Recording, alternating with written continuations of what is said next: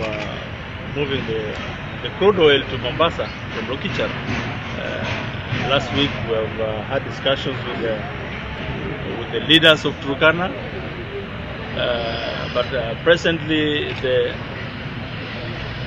the investor has decided we undertake some memorandum of understanding that is being- drafted by uh, Interior, the Minister of uh, Petroleum and Mining, and the investor for us to sign that understanding before we commence transportation of crude. That should be finalized this week.